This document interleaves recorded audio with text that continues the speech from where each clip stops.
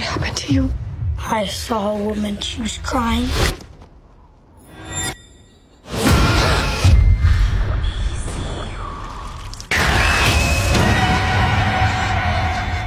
Back it up from the top. Action. I grew up in Mexico, and the story of La Llorona is something that we grow up with. Your children.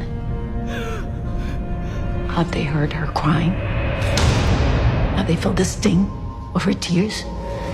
She will come for them. It was terrifying. I found myself very spooked. You have seen her then?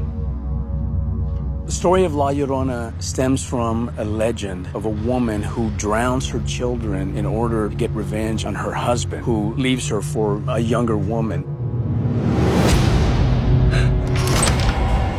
So she roams the earth looking for children to replace her own. Is she coming?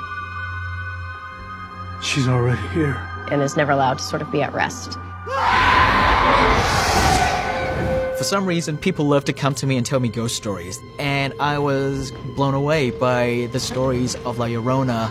It's such an integral cultural phenomenon for a lot of people growing up. We did believe it. Oh, big time.